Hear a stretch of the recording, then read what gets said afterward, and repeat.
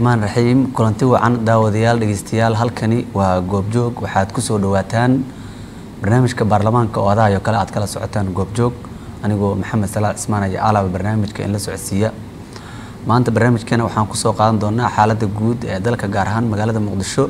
Isbedelada dhinaca amniga ee maalmihii ugu dambeeyey jiray siyaabaha ay ku timid foojignaanta iyo arrimaha kale oo saraakiisha iyo ciidamadu ay wadaan oo ku saabsan nabadgelyada sugitaankeeda ee magaalada muqdisho si guud sida ay tahay in arrintaas lagu sii xoojin karo sida ay tahay in dadka loogu sii dhowaado si nabadgelyada ay qeyb uga qaataan. Iyo guud ahaan xaaladda baarlamaanka oo waqtiyadii dambe kulamada baarlamaanka qaarkood ay u baaqanayeen gaar ahaan golaha shacabka kooram la'aan waxyaabaha keenay arrintaasi dhibaatooyinka jira iyo waxa ahayd in la qabto.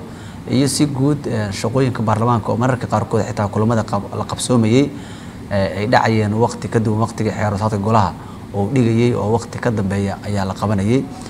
Dhibaatooyinka meelahay ka jiraan iyo si guud shaqada baarlamaanka ayaan barnaamijkeena ku jeexjeexi doonaa. Waxaa maanta barnaamijka marti iigu ah oo igala qeybgelaya xildhibaan warsame maxamed xasan warsame joodax oo ah mudane ka tirsan golaha shacabka ee baarlamaanka soomaaliya gaar ahaan wuxuu xubin ka yahay xildhibaanku guddiga ganacsiga ee baarlamaanka horena xildhibaanku wuxuu u soo ahaa gudoomiye ku-xigeenka dhinaca amniga ee gobolka banaadir. Waqti badan maadaama ka shaqeynaya sidaas ayaan ugu xulanay in xaaladda amniga aan wax ka weydiiniyo hadda isbedelada jira. Xildhibaan marka hore goobjoog ku soo dhawo aadaad mahadsantaha maxamed daahir salaad iyo bahda goobjoog iyo ummadda soomaaliyeedana dhegeysanaysa intaba waa salaameynaa salaan ka bacdi waxaan jecel lahaa inaan saakay dhowr arrimood wax ka niraahdo kow arrimaha amniga ee ama dowladda soomaaliyeed aan dhahno ama hay'adaha amniga aan dhahne mataqaanaa bishaan soonka iyo maalmahan ku dhowaa sida ay u shaqeeyeen iyo ammaanka sida ummadda soomaaliyeed nabadgelyadooda normaala u ahayd.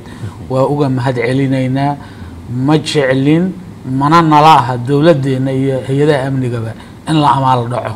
Wixii ay qabteenna in lagu ammaano waxa ay ku xun yihiin ama ayan wax ka qabana in loo sheego la yihaaho war waxaas dowladdu wax kama qabana dowladdu muraadkii dowladnimada laga lahay iyo danihii ummadda soomaaliyeed ka sugaysay maxay u qabalaayihiina cay ma ahane waa xisaabtan annaguna inaan xisaabtano dadkeennana u xisaabtano. Danahooda iyo waxa ka halaysan isku dan baa nahay isku dadna waa nahay isku dowladna waa nahay. Inaan ka hadalna weeye muraadkeenu. Ma ahan qof la dirir ma ahan dowladdaada caay ma aha mas'uuliyadda qaranka inaan cayno waxa aan raadinayna waxa weeye. Mas'uuliyiinta qaranku wixii loo idmaday oo ay ummadda soomaaliyeed u dooratay oo ummadda soomaaliyeed ay taageerada ballaaran ee aada u fogay u siisay in laga helo. Ma ahane in mataqaanaa dowladdu layska doorta ma ahayn muraadku. Waxa aan ka sugaynaana waxa weeye dowladda soomaaliyeed inay danaha ummadda u dhowaato inay danaha ummadda qabato in dadka soomaaliyeed ay mataqaanaa dowladda waxtarkeeda arkaan ayadoo adeegyadii kala duwanaay ee qaranka laga helayo. Hadday ammaan tahay hadday horumarintii dalka tahay dalku inuu nolol abuurto oo dadku nolol abuurta ayaan dadku rijo ka qabaa. Sida ku abuuri lahayna waa inuu ammaan helo ganacsigii u helo tabici beeraha u helo dhaqdhaqaaqii adeegii u helo sidii ay u suurageli lahayd dowladdu inay waxaasoo dhan ay ay qabato mataqaanaa dariiqyadii ay u mari lahayd. Sababta dowladdu wixii laga raba waxay ahayd ayadu inay waxaasoo dhan mas'uuliyaddeeda iyo wax ka qabadkeeda ayada laga sugay. Inay howlahaas qabato inay hay'adaha ammaanka howlaha hortaagan oo sida siyaasiyiinta la leeyahay waxay ammaankiiyaa laga qabalaayahay ama siyaasaddiiyaa laga fulilaayahay war qof hadlaysa oo madaxdeeda la hadlaysa oo waxa ka qaloocan u tilmaamaysa qaranka ma hortaagna. Qaranku wuxuu leeyahay wax mataqaanaa lagu jaalanji gareeyo mataqaanaa inuu wixii ka xun ku saxdo loogu talagalo caalamka wax standard calamiya ah. Inay dowladdii ay mataqaanaa maxaa la iila hadlayaa? Ama maxaa qof wax ii tiri? Ama maxaa qof iila dirirtay ay tiraahda maaha waxa lagu lagula dirirayo waxa weeye xaquuqda ummadda oo ay madaxda u yihiin mataqaanaa ayaguna ayan sidii bulshadu ee, qof walba ay ama xurmo u lahayd ama xaquuq u lahayd ayan una siin una helin in lagala hadlaa waxa weeye waa wax mumkin oo adduunka ka dhaca. Waa rajaynaynaa inay dadka hadlaya xurmeeyaan. Waa rajaynaynaa inay maamul goboleedyada xurmeeyaan oo ayaguba dowlad gobol dowladdii dalka oo la qayb qaybiyey qaybtii ay maamulayeen oo xaquuqdooda eh, in loo dhiiba lahaayeen oo in amnigooda lagala tashado ay lahaayeen oo een mataqaanaa een wixii dowladnimada ee dowlad goboleedyadu xaq u lahaayeen inay helaan ay doonayaan inay dowladda federaalkahu ku xurmayso oo mas'uuliyaddaas ay uga hooseeyaan oo ay mataqaanaa dowladdii federaalka ay uga qayb yihiin inay ku xurmeeyaan kuna xaq dhowraan kulana xisaabtamaan wixii adkaadana ay wax badan inay u dabcaan dadkooda iyo dowladnimadeedu siday eh, mataqaanaa u shaqayso. Laga rabay inay iska soo dhaqaaqaan oy dhahaan. Haddaan saan naloo yeelin dowladdii dhammeyd shaqaymayda ama dowladdii dhammeyd ee mataqaanaa go'aama gaari mayso. Ceebtaas waxaan isleenaha madaxda sare ee qaranka ee madaxweynaha iyo ra'iisul wasaaraha iyo inay arintaas ay iyagu saldhig u yihiin sababta cidda samar laga rabo cidda mas'uuliyadda iyo maaraynta laga rabaa waa iyaga.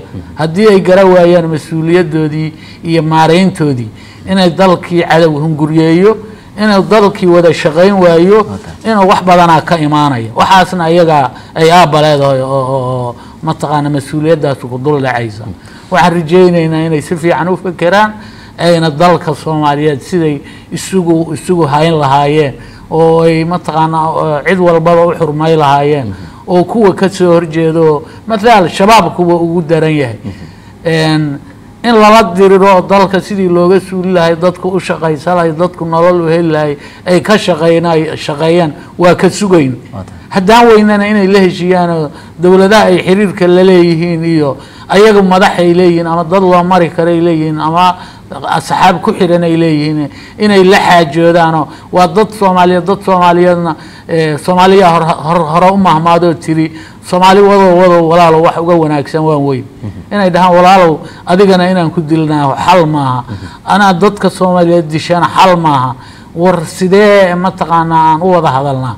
Maxaad tirsanaysiin maxaa idin daweyn kara dowladda soomaaliyeed inaad ka mid noqotiin oo haddaad doonaysiin inaad mas'uuliyad qabataan aad dadka soomaaliyeed doorasho iyo mataqaanaa dad dimuqraatiyad iyo waxaan ku dhex jirnaa in dadka soomaaliyeed isdoortee inaad doorashada iyo hogaaminta ummadda shacabkiina ka heshiin gaara shacabkiinana soo dhex gala ummadiina ka mid noqda xilalka kala duwan ee qaranka qaybihiina ka noqda soo dhowaada in la yidhaahdo mas'uuliyaddii laga rabay oo inay go'aamadaas qaataan oo taladaas soo jeediyaan oo haddaba qaar ka tirsanaa jiray dowladda waa ka mid waa shaqeeyaan wax lagu qabo iyo say u shaqeeyaanba. Marka dadka soomaaliyeed yaan qaarna la diidin qaarna la qaadan. Kulli waa soomaali dalkay wax ku leeyihiin nin kula shirkaana ma diidi kartid saa waaba kula shirke. Shirkaan nahay dadka soomaaliyeed waa shirko cid la diidi karaa ma jirto laakiin in la wada hadlo madaxdu garato in wada hadalka iyo isqancinta iyo hogaaminta inay ka mid tahay inay ku fekerto kana shaqaydaan soo jeedin lahaa. Waaya xildhibaan adima waxaa ku muuqda hanaan ka duwan hadda sida dowladdu ay shabaab kula macaamisho hanaan ka duwan miyaa ku muuqanaya oo aad is leedahay maxay ahayd waa lagu keeni karaa. Haa siyo badana waxaan is leeyahay in loola macaamili karo ama hanaan kale loo heli karo lagu wada hadalo lagu sameeyo.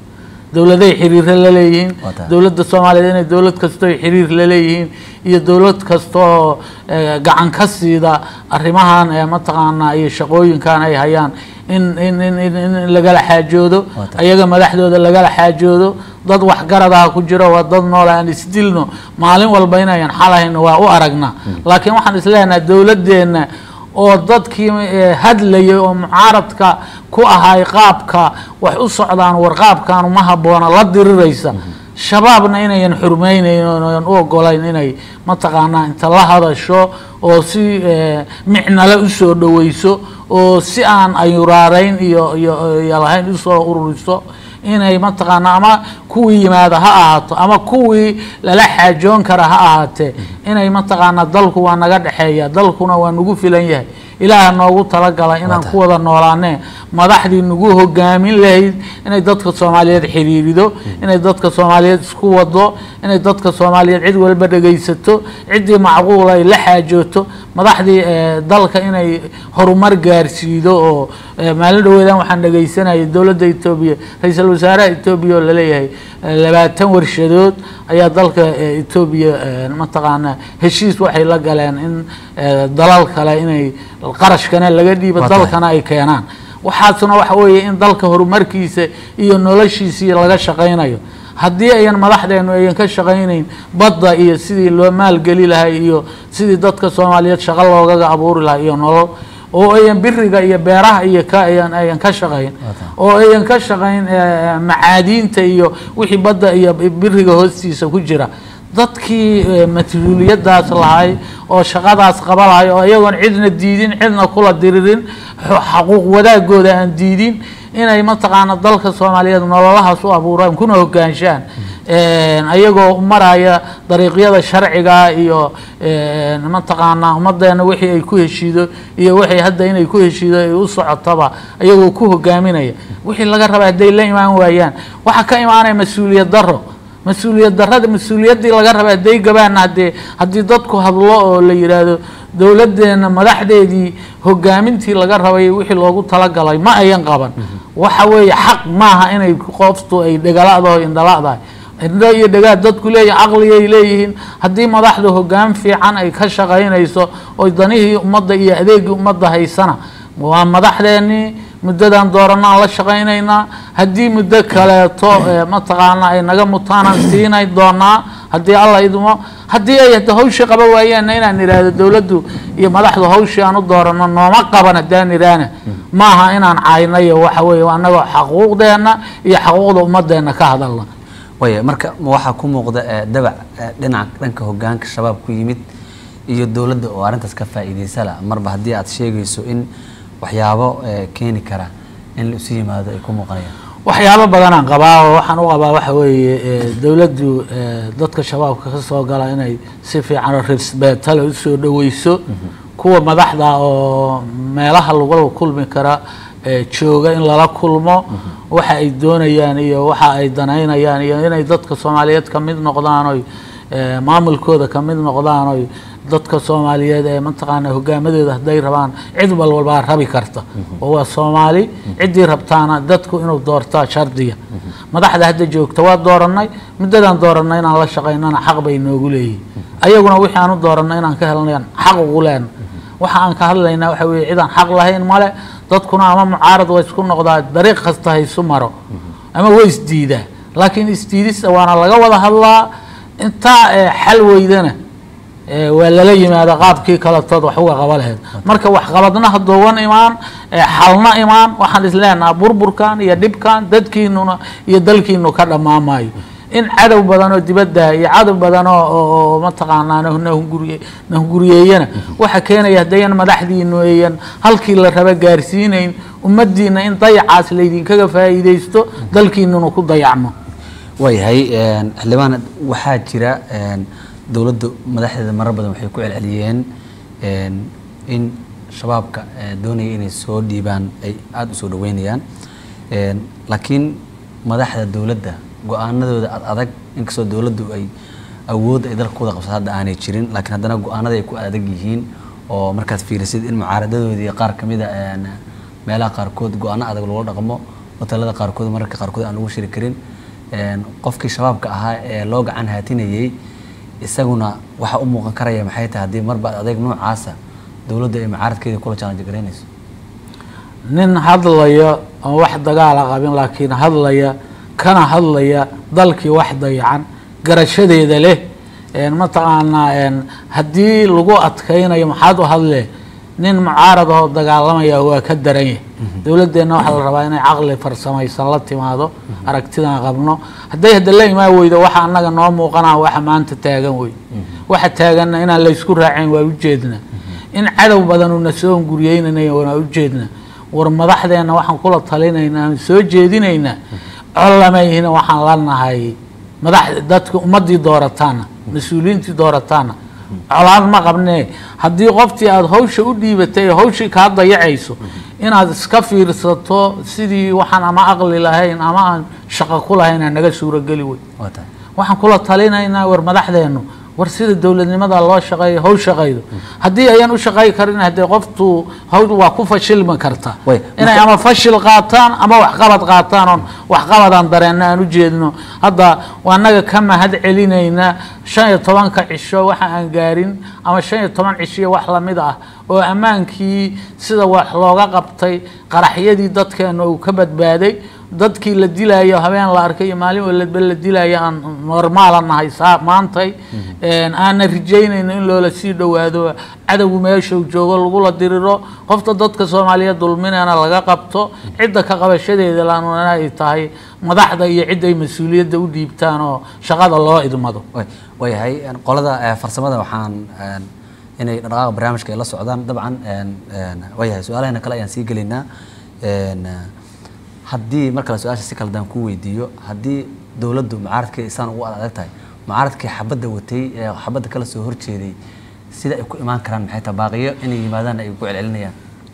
Anigu waxaan u arkaa dad badan oo soomaaliyeed oo ama raggii ay xiriirada lahaayeen oo kamida dowladda ama raggii ay xiriirada lahaayeene eh, n- mataqaanaa dowladaha soomaaliyeed ee nala deriska ay ka mid yihiin dowladdeena hadday inta la xiriirta tiraada hana la wada hadashiyo.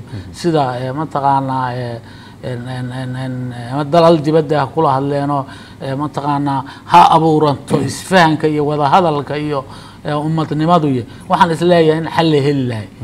Wadahadal waa la raadi karaa. Hadday dowladdeena inta wadahadal raadido hadba wadahadalkii uu socon waayo waa loo garaabin lahaa dowladdeenu inay wax badan ay ummadeeda soo hor dhigtoy idaacadaha kala hadashoy. Mataqaanaa siyaasiyiinta iyo golayaasha ee macquulka kala hadashoy.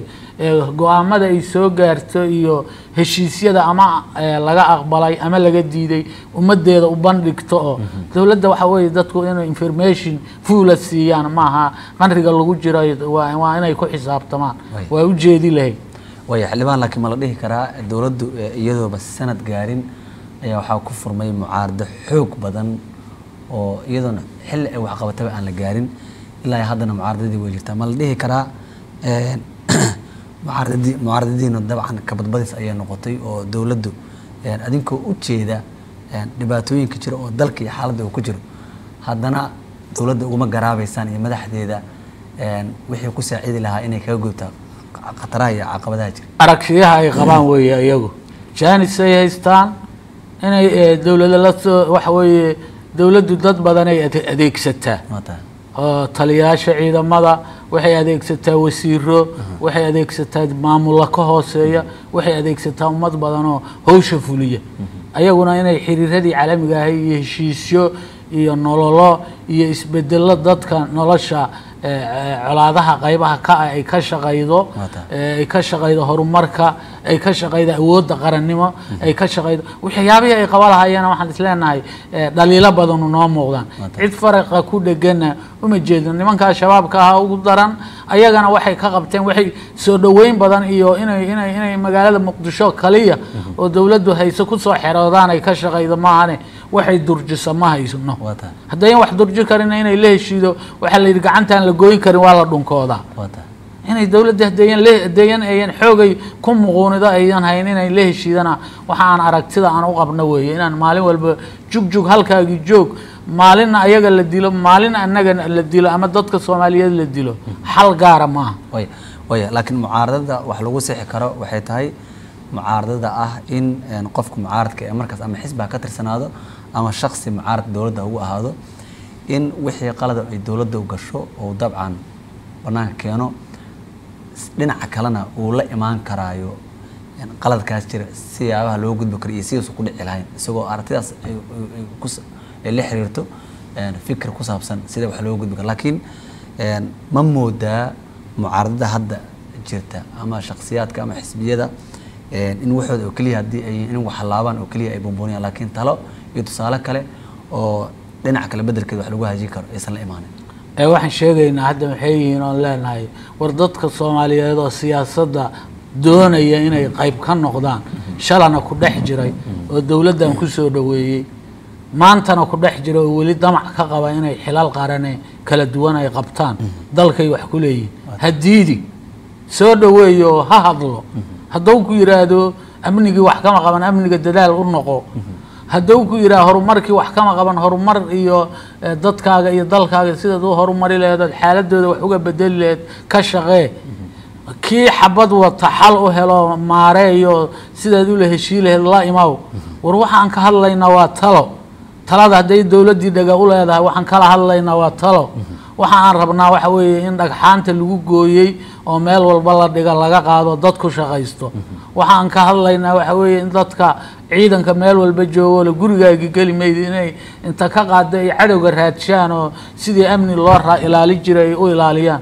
Waxaan ka hadlaynaa waxa weeye hay'adihii nabad sugidda ee amniga qaybta ka ahaayee bulshada ku dhex jiray inay abuuraan. Waxa aan ka hadlaynaa waxa weeye in hogaamin fiican lala yimaado waxa aan kala hadlaynaa waa tale ee kursiga ay ku fadhiyaan uma soconno. Cidda u socotana waxaan leenahay dowladda waa dooranay bal muddadeedii inay shaqaynayso laba sanoay shaqaynaysay laba sanada u hartay hadday eh, aan talana ku kabno aanna mataqaanaa la hadalno aanna waanino hadday waana yeelan waayaanna aan aragno. Hadday eh, labada sano caqli la yimaadiinna aan aragno war madaxdeena caqli hala timaado talo fiican hala timaado dalka hogaamintiisa hala timaado wax loo xiiso la yidhaha alla ileh waa naga u sheegayna waa naga ogol shan iyo tobanka cisho oo soonqaad wixii qaraxii iyo dadkeena uu ka xoogaa nabad galay ugu hambalyeynayna wax badan ka badan hadday qabtaan oy cadabka ama meel fog gaarsiiyaan ama ay la heshiiyaan waa u hambalyeynaynaa maxaabiista dunida ku xireedoy qaar keeneen waa uga hambalyeynaynaa wixii ay qabtaan waa uga hambalyeynaynaa laakiin haddee iyadoon wax la qaban iyo hambalyey eh, see u ilma qurxoonaay xafiiskaygu ma qurxoon yahay madaxtooye say tahay maaha dowladda madaxtooye wax ka ballaaranaan ka raba waaya waaya xildhibaane dabcan mar xaaladdu sidan ay ka du- ka duwanayd gobolka waa ka soo shaqaysay.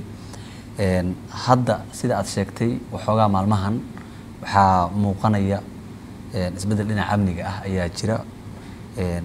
Xaafadaha gobolka banaadir weli sidii loogu talagalay dowladdu ammaankeeda gacanta uma wada dhigin. Tusaalooyinka muuqda waxaa ka ah marka laga soo tago shacabka dowladdu qofka degan xamar weyne iyo xamar jajab iyo dayniile iyo hiliwaa isugu mid maaha. Dabcan waxaa laga yaabaa howlgalladu xataa markay soconayaan degmooyinkan ku dhow madaxtooyada iyo kuwa banaanka ah magaalada dadka jooga dowladda xataa dhowr laba kol dhowr kolom inay u kala jiraan ama qeybo kala duwan ugu jiraan.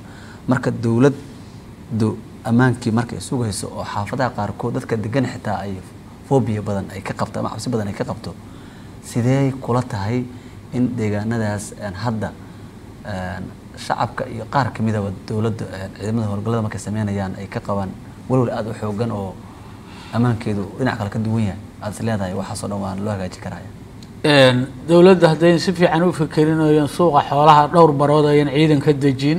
Haddana ayan bulshada ku shaqayn. Bulshada ay ku shaqaynaysa ammaankeeda haddayan gacan siin ooyan dhinac taagnayn haddayan mataqaanaa meesha la yidhaahdo daynila sidoo kale ayan bara kala duwan ayan ciidanka dejin ayan mataqaanaa gudaha aan laga shaqaynayn xoogaga wadaniyiinta ay ula baxday dowladdu hadda oo waxay u abuurayso iyo waxay la sugayso markay ammaanka iyo dalka danihiisa uga shaqay laheyd ee, mataqaanaa aan aan aan aan waxa looga shaqaynayna aan weli sugayno. Iyo dadka lamida ay inta abuurato ayan ku shaqaynayn nabad sugidii iyo bulshada dadkii ku dhex jiri lahayo ama telefoonka inta lacag loogu shubo soo hadli lahaa ama ee, telefoonadooda ka soo hadli lahayo wax loo qori lahaa oo magaalada hareeraheeda iyo bartamaheeda iyo meel walba degan ayan ka shaqaysiinayn. Telefoonno joogtaa oo mar walba lagaa qabanayo ciidano joogto ku yahay ama ciidankuna uu meel kaleeto joogto ku yahay. Telefoonana telefoonadana ee mataqaana ay shaqaynayaan ayan dowladdu abuurin sidii telefoonadii la dhihi jiray oto oto kaleeto ayan abuurin. Mataqaanaa dowladdu waa waa waa ammaankii waa ka shaqaynaynaa ama dadku ha nala shaqeeyo ku imaamayso Way. dadka qaababkii loola shaqay lahay oo dowladdu ay u shaqay leedahay ammaanka u handhargaray leedahay hadday taladeedii ayan iyo jidkeedii qaadin. Ila shaqee warsaan kuula shaqeeya adiga maqaabkan kuula shaqey lahay sheeg. Telefoonkan kala soo xiriiri lahay cid qof walba ay haysato ciidankii haddaan cadow arko soo boodi lahayo diyaarsanayo mataqaanaa bara la yaqaan ku diyaarsanaye madaxdii lagala xiriiri lahaa war wax badan iyo qorsho badan iyo talo badan iyo isku xir badan ammaanku rabaa. Waxay rabaan mataqaanaa qarash in lagu bixiyo oo barbar socda dhiirigelinta ciidamada hadday tahay mataqaanaa markaad noloshooda iyo mushaarkooda aad meel saarto haddana qarashyo kaleoo barbar socda. Waxaa laga yaabaa inahaasu inay siday kuugu suurageli lahaayeen ayan kuu sahlanaan. Haddaadan abuurin oodan la imaan farsamadii aad bulshadana ku ilaali lahayd ayagana wixii aad u- u- u- dadka u adeega ee, mushaar loo sii lahay oo dadku ku qanacsan yahay haddaadan la imaanna iska imaan mayso. Waa inaad fikir la timaado waa inaad qorshe ammaana la timaado oo ammaanka nafeed iyo ammaanka dhaqaalaha lagugu aaminayo bulshada mataqaanaa aad ka ururido oo inaad dib ugu soo celido ammaankooda iyo nadaafadooda iyo nabadgelyadooda iyo danahooda aad aad ku shaqaynayso. Waa inaad la timaado arrintaas een, qorshaha iyo farsamada le ayaan su'aalkaasi weydiinayaa. Degmooyinka qaar sida hadda kuwa aad ka dhawaajisay dabcan dowladdu adeegyadii dowladeed ee loogu talagalay sida degmooyinka qaar aad uma wada hirgelin. Meelaha qaarkood degmooyinka qaarkood waxaa jira dadku waxay arkaan ciidamada iyo madaxda waxay arkaan mar howlgallo la sameynayo dad la raafayo dad la qabanayo ayaa loogu tagaa. Marka shacab marka keliya oo waxqabadkooda ay dowladda aragta ay tahay in wax la raafo oo ciidan badan meesha lageeyo dadkii la aruuriyo la qabto shaqada dadkaas laga heli karaayo maxay noqonaysaa? Sidee loogu dhow dhawaanshaha okay aadaad mahadsanta bulshada saad ula dhaqanto iyo saad u xiriirido iyo saad u ilaalido iyo sidaad u danaynaya dhibka gaara inaad eh, ka difaacdo ayay kuula shaqayn kartaa. Waxaa la rabaa eh, degmooyinka aan sheegaa hadda sida hurwaay iyo eh, meesha la yidhaha dayniile iyo yaaqshiid iyo iyo degmooyin kaloo badan.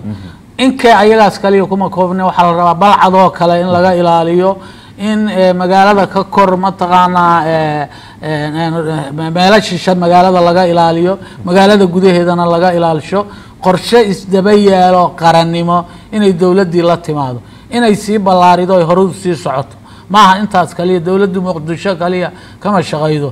Dowladdu waxay dowlad u tahay hadday shaqadeedii la imaanayso ka koono ka koono dalka soomaaliyeed. Een, waxa aan dhaafay oon oon oon oon oon iyadana inaan ku dara aan rabaa waxa weeye waqooyi galbeed oo kale. Waxyaabo badan oo hadda dalalka maamul goboleedyada hadda soomaaliyeed lagu hayo ayaa ayay tirsanayay. In dadka soomaaliyeed laysu keeno oo mataqaanaa doorasho one man one vote ay gaaraana laga shaqaynayo waqooyi galbeed wax wada hadallo iyo wax mataqaanaa Way. wada xaajooda iyo Arrinta ma jiraan arrinta waqooyi galbeed waa u soo noqon doonaa Xilligiinii adiga gobolka banaadir aad maamuleyseen oo wax ka yar afar degmo ama shan degmo aad gacanta ku hayseen iyo hadda oo dowladdu magaalada iyo inta badan dalkaba ay gacanta ku hayso maxaad is leedahay farqi weli waa taagan yahay oo annaga marka horeto maamulka naloo dhiibayay ayaan afar degmo ku hayna gacanta kilomitr zero fiyaad ayaan ka bilownay godod uga qodnaayeen shabaab boondheeray uga qodnaayeen wardhiigley hoosteeday uga qodnaayeen hodan iyo siigaalay uga qodnaayeen intaas yaraan ku hareeraysnay annagoo eh, mataqaanaa buulo berto ku sii dhow xaggana ku sii dhow buur ayaa xilka nala ka qaaday. Isbedelna dhacay. Waa ku faraxsanayno hadda dowladdu waa tii isbedesha Een, xilliba xilligii ka dambeeyda in magaalada muqdisho xaafadaheeda ou shabaab soo degay ay- ay- ay- ay- ay maraysa. Waxa weeye dowladdu inay shaqaydo madax eh, nala shaqaynayso gobolkana la shaqaynaysa iyo gobolkoo shaqaynaya iyo maamulkiisoo shaqaynaya eh, horumarka ka shaqaynaya ha- amniga ka shaqaynaya amnaanka ka shaqaynaya nadaafadda ka shaqaynaya ayaan ahaynoo danaynaya inuu dadkoodu meel fiican gaaro madaxdana bedelana waxaan rajaynaynay midba midii ka dambaysa inay xaaladda wax ka bedesho ilaa afartaas degmo aad sheegtay ilaa ayaa ilaa ay hadda xoogga la saaraa. Ma wax la qabatimayaa mise qorshe xumanaa jirta? Annaga waxaan isleenaha qorshe xumaa jirta. Qorshe xumaa jirta haddii lagu shaqaynayo hay'adihii amnigana lagu shaqa- shaqaynayaan kuwii difaaca dalka ay shaqaynayaan cadowga beegsanayaan hay'adihii eh, gobolka banaadir ee degmooyinkii iyo maamulkii gobolka banaadir ay ka shaqeeyaan eh, howlihii ay xil saaraayeen waxaan isleenaha wax badanaa qabsoomi lahaa. Laamiyaa la dhisi jiray horumarka degmooyinkaa la dhisi jiray ee suuqyadaa la dhisi jiray horumarka dalkaa laga shaqaynayey ammaanka barbar socdaa laga shaqaynayey sidii oo kale haddii loo shaqaynayo oy dowladdu xil iska saarto inay ummadda hawshaas ka sugayso isu xil saarto waxaan isleenaha waxbaa qabsoomi lahay. Sababto hadda meelo meelo yar iyo guri guri iyo cadow meelo meelo ka soo dusaya iyo weeye annaga mid saf ballaaran ahoo mataqaanaa hubkiisa wato oo tignikadiisa wato kilomitr zero madaxtooye u joogaan la dirirayn guulna ka gaarin dowladdeenu inay guul ka gaari weydo kuwa meelo meelo xaafada ku jira ama la heshii weydo waxaan isleenaha waa ayagii dadnimo xumadow waayahay haddaan ka gudubno arrinta amni dhinacaas aan uga gudubno madaxda dowladda iyo kuwa maamul goboleedyada dhowaan shir ayay waxay isugu tageen magaalada garoowe ee puntland. Dabcan shirka iyo dadka soomaalida waxay ka filayeen kama aanay soo bixin oo la arkaysay sida wax ku dhammaadeen iyo sida lagu kala tegay. Maxaad is leedahay mas'uuliyad darradaas dhacday way leedahay ama way ku timi waxaan is leeyahay marka horeeto haddaan dadku tanasul lahayn isu samar lahayn danta u jeedin caamka oo u jeedo eh, mid hoos taalla. Waxa weeye wax badanaa imaanaya. Waayahan waxbaa la kala sheeganayay maamul goboleedyada dayacyay qabeen lalama sii shaqayn madaxdoodii iyo dowladdoodii dhexe eh, inay ula shaqayda sidii ay rabeen iyo ballamadii laysku ogaay iyo wixii lagu ballamay iyo hadday soco waayaan aamin daraa imaanee in wax walba laysu aamini waayaa imaanee qofta aada aaminaysaan waxa weeye mathaal ka soo qaad maantay. Haddii aniga adiga boqol dollar aan qof ka qaadano ee boqolkaas dollar inta adiga lagu dhiiba aad adigu qaadato toddobaatan anigana ay tiraahdo soddonkaanaad leedahay. Berri ku aamini maayo wax kugu darsan maayo. Waxaa la rabaa dadku inuu is aamino qarannimada isku aamino qof ahaan isu aamino mas'uuliyadda isku aamino dowladdeennii haddii iyo madaxdeennii la aamini waayey oo ballankii ay ka ay ay fuli waayaan oo wixii lagu bal- ballamay laga waayo oo ay markhaati u tahay eh, baarlamaankii doorta inay maanta inay kala diraan rabaan madaxdeena ooy markhaati u tahay shacabkii taageeray oo kobaha iska gooyo sidaad ogeed isu dardarayay oo aan u jeedin dhibka iyo khatarta iyo shabaabka iyo ciidamadee qolo walba ay firxanayso ay lugeynayso eh, dadka soomaaliyeed isdhex galay iyadoo la taageerayo dowladda la dhisay. Haddana maanta halkay marinayso horumarkii laga rabay gobolka banaadir aada ujeedo halkuu yaallo gobolladii kaleeta aada ujeedo eh, inaan eh, maalin loo tegina shabaab ee weli iska dul fadhiyo qaar dayac kale ay qabaan. Horumarin markii laga shaqay lahay dan ummadeed markii laga shaqay lahay dib u heshiisiin markii laga shaqaysan lahay. Maalin walba waxay ku mashquulsan yihiin hadba degmo ku dhegiyo hadba gobol ku dhegiyo maamul goboleed iyo nin cayrso Waaya. war nin cayrsa qarannimo maahane qarannimo waa nin samraa ka samraa ee mataqaanaa wixii ku xun oo dhan aan ka ficil tamine ujeeda higsiga qarannimo iyo meesha uu mataqaanaa ummadiisa la rabo inuu inuu inuu dayax dushiisa dejiyo. Ninka rabo oo waxbarashada ka dhiso oo horumarka ka dhiso oo ammaanka ka dhiso oo nolosha ka dhiso ninkaasaa kaleetaa dalka anfaco oo hogaami kara. Mar haddii madaxdii sidaa heshiis la'aan ay ku kala tageen een, tanaasulna uusan jirin doorkiina baarlamaanka muxuu yahay doorkeena baarlamaanku baarlamaanku waa dad badan waa laba boqol toddobaatan iyo lix. Lagu daray aqalka sare. Lagu daray aqalka sare.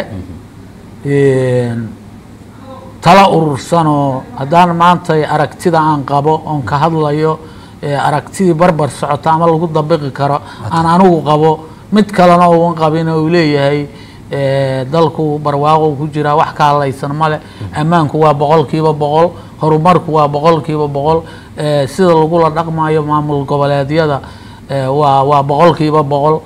Iyo ninka qaba war waxbaa naga qaldana waxa qaldan hala soxo. Isku wada qaadi mayaan.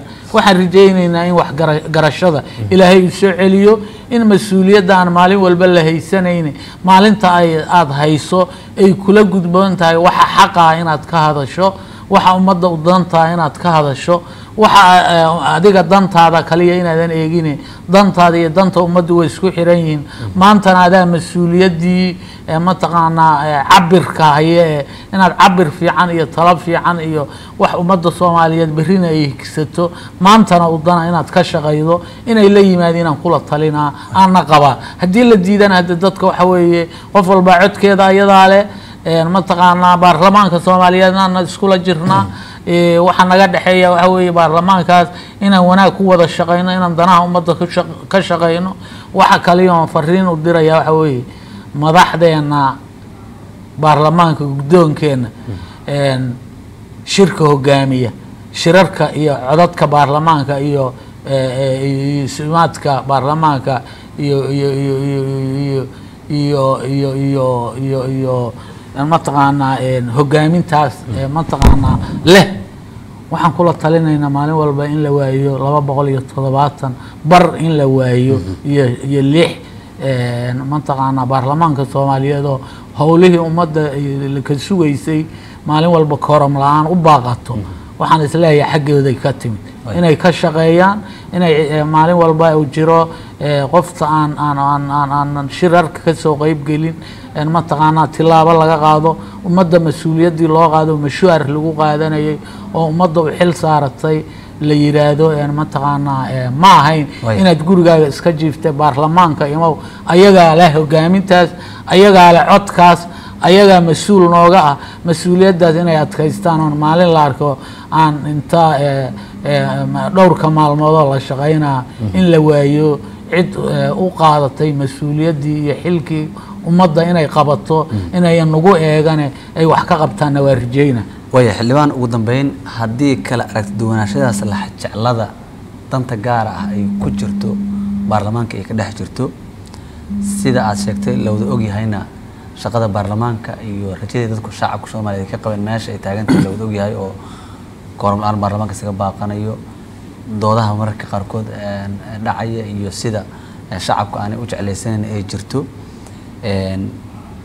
waxaasoo dhan oo jira iyo hadda dalka xaaladda uu wajahayo ma la dhihi karaa wax isqaban karaya ma ahan oo shaqadii baarlamaanku uu hayay sida adinka xildhibaana ka ka tirsan ka timidba waxaad noqoteen u shubateen adinka dhan gola sacab inaad noqotaan.